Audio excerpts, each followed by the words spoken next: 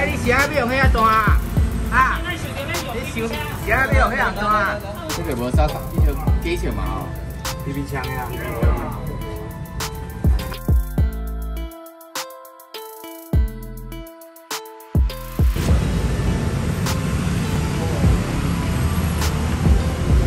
哎，你啥要用遐单啊？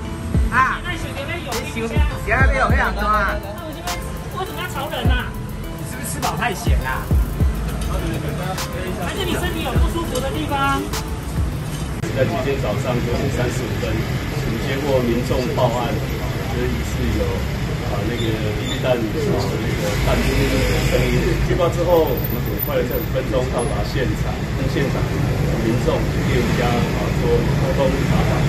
啊，据了解啊，应该就是在啊对面的住宅三楼，现场民众是有看见对面三楼的窗台啊，也有一名不详的民众啊在一些啊呃里面出现，所以立即锁定这个位置，立即啊到三楼啊去逮捕这一名诚信嫌疑人。啊，经过初询啊，这个诚信的嫌疑人啊，他是啊坦诚啊，这个是啊他早上哈、他有持枪啊去射击他窗台上的植物。到现场窗台，确实这个职业上啊也有干过。